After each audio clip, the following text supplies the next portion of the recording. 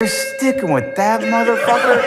Are you serious? Tom probably had no desire to go to that team, but now it's like, why don't you want me? Absolutely. Like, yeah, Absolutely. When I look back, I'm like, ah, there's no fucking way I would have went to that team. they said they didn't want me, and I know what that means. I know what that feels like, and I'm gonna fuck you up because of that.